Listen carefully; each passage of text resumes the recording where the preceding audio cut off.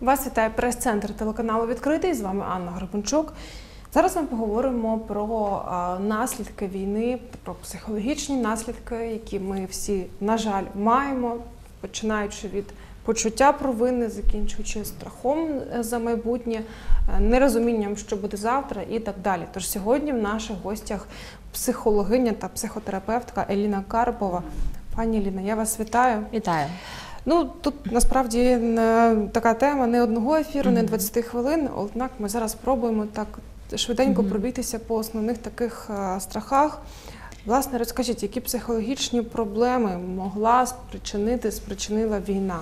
Ну, по-перше, напевно, така дуже загальна е, тема це втрата контролю і втрата розуміння, що буде далі. Бо якщо там сирена, то ми повинні свої плани якось змінювати. Якщо є якісь вибухи там, або ще щось, тобто трапляється, людина вже не контролює, вона не може розпланувати свій час і сказати, що вона буде робити не тільки там через тиждень, так а навіть завтра.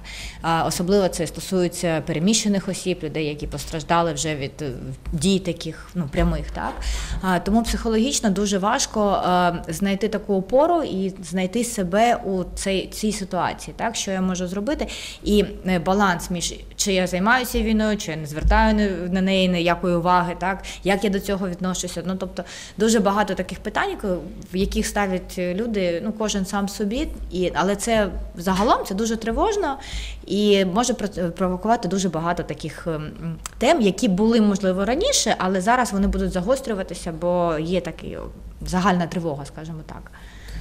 Е, Скажіть, будь ласка, які ще страхи у людей виникають? Чи Мгм. патерни, як модно зараз називати? Да? А, ну, взагалі-то е, в, нас, в нашому організмі всього три реакції: тобто бій, е, біжи та замри. Біжа, біжать люди е, і зараз, і там 24 числа це ті люди, які е, переїхали, поїхали одразу, як тільки почалася війна, навіть якщо там це не було, не стосувалося їх напряму, так то від відносно безпечних місць. Е, Люди, які е, почали одразу записуватися до ТРО, там волонтерити, що ще робити. Реакція бий, так? Е, І тут така ситуація, коли людина не розуміє, коли її ресурс вже закінчується, коли в неї вже немає сили на те, щоб давати щось людям і допомагати, але вона продовжує це робити. І тут настає таке емоційне вигоряння, і з цим же також треба працювати психологом, бо отут вже можуть бути нервові зриви і усе інше. І завмре це люди, які нічого не будуть робити до, ті- до тої пори, до кого там. Їм додому не прилетить, так? Або там ще щось. Тобто я до цього не, не касаюся, я про це не говорю, я взагалі не хочу нічого про це знати. Тобто це такі основні реакції і Яка найбільш небезпечна реакція? а, напевно, тут не яка, а сила цієї реакції. Тобто, якщо людина постійно у страху, то це буде тривожний розлад. Так? Якщо людина постійно працює, постійно хоче щось робити і так далі, то це буде фізіологічне виснаження, і також це не буде добре. Е, тому ем, ну, така загальна рекомендація, так, яка б не була реакція, це ділити. Те, що пов'язано з війною, і свої емоційні страхи, і привносити іноді навіть соломіть е, щось із того життя, яке було до того. Тобто щось таке звичайне, буденне, дуже просте, але те, що буде е, буде нам говорити про мир, про те, що життя продовжується, про те, що я зараз в порядку, навіть у цій ситуації. так? тут Тобто- Треба пояснити, що це не дискотеки, не А, тусня, яка сильна. Ні, да? це не тусня, але це там та сама кава, але або та сама зустріч е, з близькими, або там якісь вподобання, які були до того, або там щось смачненьке. Тобто щось, що наповнює мене е, життям, а не постійно такими. е, ну, не- не- нервами, скажімо так, і е, дуже важлива така ситуація, коли людина не е, не піклується про своє емоційне здоров'я через те, що вона постійно у чатах. І у різних чатах, так? А ті сказали те, а ті сказали все, а ми треба це якось так поговорити про це, поговорити ще з друзями там і зробити свій якийсь такий гарний висновок. Так, так це не працює. Це тільки поглиблює цю тривогу і нерозуміння, занепокоєння. А, треба вибрати собі там три, ну добре, п'ять каналів інформації, звідки я її отримую, які я довіряю і які не буду перевіряти. Так? Тобто, якщо там 3-4 канали кажуть одне і те саме, значить воно так і є, і ось воно так є. Е, Є сайти саме там адміністрації, там ще то ну і кому повірить людина, але не все підряд. Бо інакше критичне мислення буде е, страждати, і це буде кругом зрада, усе пропало, і взагалі Ну, тут, все власне, да, ще важливо стосовно ЗМІ від себе хочу сказати, що дуже важливо читати офіційні телеканали, там, наприклад, адміністрації, знову ж таки, е, сил ТРО, ЗСУ і так далі, бо там подається інформація суха, без відтінок якихось емоційних. А, а преса все ж їх додає для того, щоб їх чи- читали та викликалися ще якісь додаткові емоції. Так, Вірно? і тут е, така психологічний прийом такий, що чіпляє завжди більш емоційне. Якщо це сухі факти, це нам щось не доказали. Це тут щось якась така гра. Ми тут будемо розбиратися. Людина пересічна, яка живе е, там у місті і не має відношення ані до політики, ані до армії, е, як армії, так як воно все влаштоване, вона не може це знати. Тому краще довіряти просто офіційній інформації, але це важко, бо емоційно це не так насичує. Добре, а скажіть, будь ласка, як зрозуміти, що у, у тебе є якісь проблеми? Емоційні, психологічні і так далі. Ну зараз, е, скажімо так, в нас такий режим, щоб вижити. Так ми будемо з цим розбиратися трохи пізніше. Але якщо ми говоримо про е, постійне відчуття страху, так? Якщо ми говоримо про те, що там порушення сну не можуть е, заснути, не можуть прокинутися, тобто відчуття постійної втоми, коли чутно такі фантомні сирени, так? Коли людина дуже гостро реагує. Харчування, збивається, так? А, Розлади харчування, не хочу їсти, постійно їм, але це фактори ознаки стресу. Тому зараз сказати, що цього можна повністю позбутися, ні, цього можна контролювати і можна для себе вибирати. Там я зараз е, так себе поводжу, мені це допомагає, чи мені стає гірше. Якщо допомагає, зараз ми все залишаємо. Ми нічого не, не вбираємо і з, не, з якими такими проблемами не боремося ну, максимально, бо в нас є як би, м, об'єктивний фактор стресу, і поки він не піде. Ми щось розгребемо, полікуємо, а, але щось може трапитися і знов повернеться. Тому е, краще просто себе підтримувати, допомагати собі, наскільки це можливо. І якщо це вже ну, дійсно така е, річ, яка заважає жити, то так, треба працювати або з психологом, або там е, шукати якісь альтернативні варіанти. Але м, зараз така варіант норми він значно розширився, бо кожен із нас по своїм переживає сам стрес. Ну і власне якоїсь однієї формули або магічної цукерочки, як одужати психологічно, немає. А, Тільки такі маленькі заходи, які наближають, покращують стан. Да? Е, Цукерочка може бути в тому, що я повинен робити, так? Е, Повинно бути мінімальне планування. Тобто, якщо я е, повинна знати, що я роблю, коли там сирени і або там ще щось, ми це повинні знати. А також в нас е, має бути звичайне життя, і ми його маємо собі самі організувати. Наприклад, е, робити собі там два-три, дві-три справи за день, так? які я роблю там в незалежності від того, там, що там трапиться. Так? Ну, Ми можемо е, здвигати час там або ще щось, але там ми це робимо. Так? А, якісь прогулянки, щось приємне для себе. Навіть коли я вважаю, що я цього не заслуговую, бо комусь гірше, але якщо мені буде зовсім погано, то я нікому вже не допоможу, не допоможу. Тому виділяти цей час на відпочинок. Так?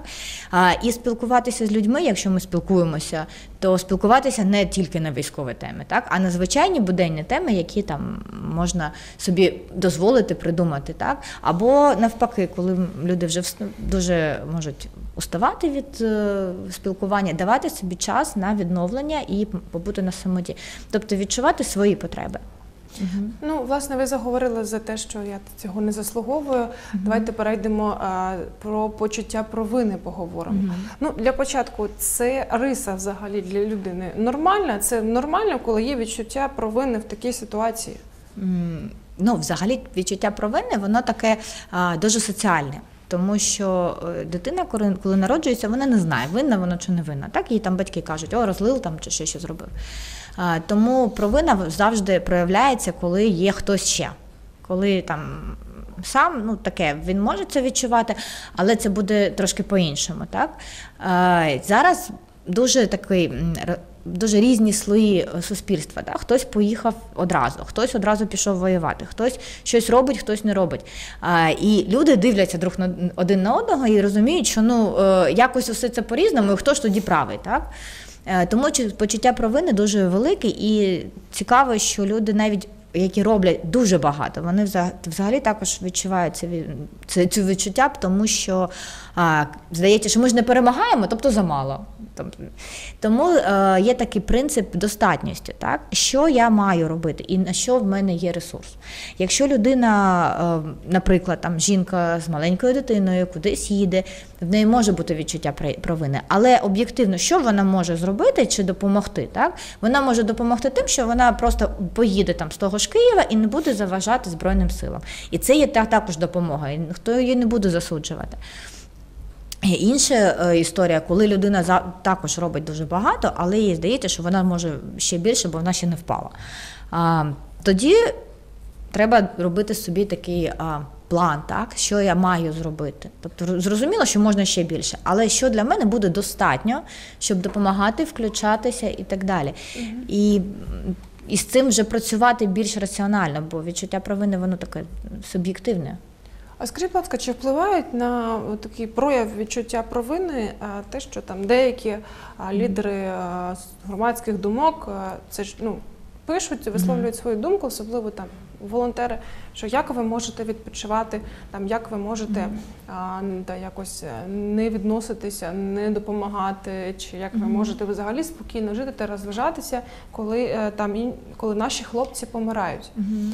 А я, в принципі, ну е, згодна з цими е, висловами, однак мені здається, треба їх якось е, трохи по-іншому писати, або аби люди не сприймали це в штики. І ну як тут як поясніть? Тут треба розуміти психологічно, коли людина розуміє, що це відбувається, так? А, хтось розуміє це одразу, так? Повертаючись до людей, які там відчувають цю тривогу, коли її немає. А хтось її не відчуває, поки до нього додому це не прийде. Тобто е, засуджувати цих людей важко, тому що вони не зовсім розуміють, по-перше, і по-друге, наскільки вони можуть бути до цього залучені, наскільки в них вистачає емоційно цих сил. Бо я, наприклад, е, спостерігаю, коли людина може і хоче, але вона бачить чуже горе, і її настільки це е, вибиває, так, занурює власні перечуття, що з неї толку ну, не дуже багато насправді. Тому чому ці люди пішли? Не пішли, так? Вони не захотіли, вони не вважають, що це насправді так е, серйозно є, чи вони не можуть емоційно, і тому вони там піклуються. Або це, наприклад, щось інше, чого ми не знаємо, індивідуальне, так?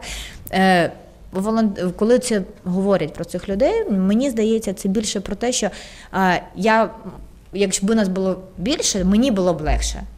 Ну і це справді так. Але е, людина ж сама бере на себе стільки відповідальності, вона сама бере на себе стільки того, що вона робить, так? Е, і це про те, скільки вона може вивести. І ну, було б непогано, якби людина могла розуміти, скільки вона може вивести, а інше просто передати чи залишити. Е, бо волонтери виграють не менше, ніж військові, насправді. Е, але військові, військові у них є якісь ем, системи, так, вони там коли, куди йдуть, вони знають, що їм робити. А волонтери здебільшого реагують на ті запити, які до них до них е, надходять, тому вони більш нестабільні, вони в нестабільній ситуації. І тут е, піклуватися про себе треба самотужки. Бо, напр- наприклад, військового на ротацію привезуть, а волонтер так і залишиться. Скажіть, будь ласка, також величезна проблема страхом перед тим, що буде завтра, що буде в майбутньому. Майбутнє зараз, ну здається, жоден українець не може побудувати. І Як з цим бути? Все ж щось може планувати там, хоча б на тиждень найближчий, чи краще не планувати? Ну, Планувати однозначно треба. А зараз е, в найбільш важчому важкому становищі люди, які звикли все планувати, і в яких все йде за планом. Ну для них це напевно найважча ситуація, бо вони не контролюють. Тому треба контролювати маленькі е, якісь речі. Так, що я буду робити там сьогодні, завтра, на тижні. Це ми плануємо, але бути готовими до того, що воно може піти якось не так. Тобто воно може бути не ідеальним, воно може бути не настільки ем, там.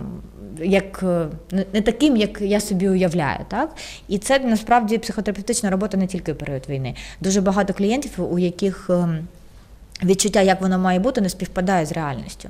Тобто, що реально може бути, як це може бути, так а, насправді там та валіза повинна бути, з якої там в разі чого можна буде вийти з будинку. А, але не тільки це, а ще й дуже багато іншого в нашому житті зараз є.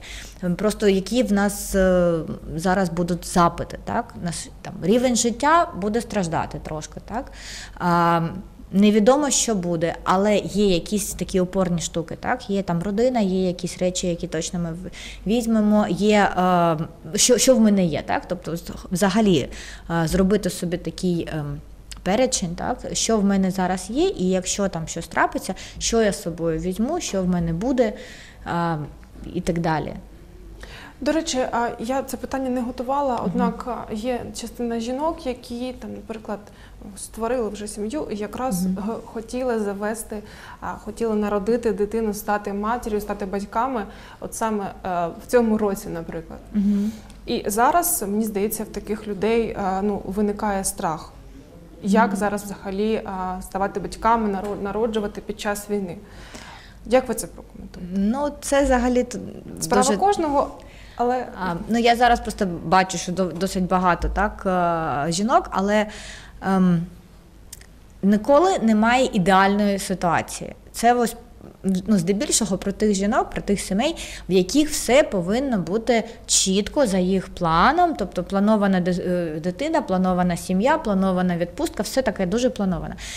Насправді ідеальної ситуації, щоб завести дитину, напевно, не існує, бо там у нас був коронавірус, там ще щось було. Життя, воно таке, воно бентежне, так? З ним завжди щось буде не так. Тому тут, напевно, про власну готовність е, людини до е, ну, народження, так, і до того, що це буде непросто. Зараз це дійсно може бути непросто. Е, З іншого боку, е, саме у таких стресових ситуаціях, з точки зору гормональної системи, вірогідність може бути більше, бо на стресі, на різкому зміні обставин і так далі, дуже такі скачки гормонального фону. Тому, якщо там у когось не може не щось не виходило, зараз може вийти. Я не кажу, що це 100%, але ну часто буває, коли після сильного стресу, після ще е, якісь таких е, життєвих ситуацій, е, такий бум. Крім того, зараз. е, Люди по-іншому почали відноситися один до одного. Коли був коронавірус, дуже багато було розлучень, бо люди сиділи вдома, спілкувалися. Ми говорили про те, що вони заново один одного пізнавали, і не завжди їм це подобалося. Зараз трошки інше. Тобто чоловіки це герої, жінки е, їх чекають або допомагають, або ще щось. І це такий більший емоційний зв'язок. І вони вже проходять більше, тому в них будуть ну, трошки інші відносини також. Наш ефірний час дуже швидко закінчився. У мене ще лишилися питання ось про фантомні сирени, про панічні атаки і ще загальні рекомендації. Тож, як я казала на початку, справді потрібен ще один ефір. Добре. Ми з вами ще точно зустрінемося, про це договоримо. Я дуже дякую, що до нас завітали. І справді теми, які ми обговорили, дуже важливі. Хотілося, щоб люди справді чули себе, дбали про себе, дбали про своє емоційне здоров'я. Це важливо. Це також е, Так. е, да, є, є ж правило е, кислород маски, що спочатку от в літаку надягаєш на себе маску, а потім на найближчого. Так. Тож дбаємо про А, себе. бо якщо я, я вже вигорю, я вже нікому не допоможу. Ну, Тому ось справді треба. так. Так, дякую. У наших гостях сьогодні була психологиня та психотерапевтка Еліна Карпова. Говорили власне про емоційний стан, про страхи, розлади психічні, які спричин- могла спричинити війна. Телеканал відкритий Анна Гривенчук. Дякую, що були з нами.